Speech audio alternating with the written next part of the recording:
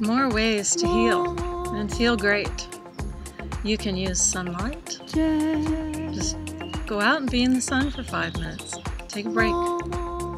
You can use electricity. You can put electricity between two points. You can generate your own electricity through friction. So you can rub the palms together. It creates electricity. You can think amazing thoughts. That creates electricity, excitement, charisma. Find a way today to use electricity or sunlight to heal.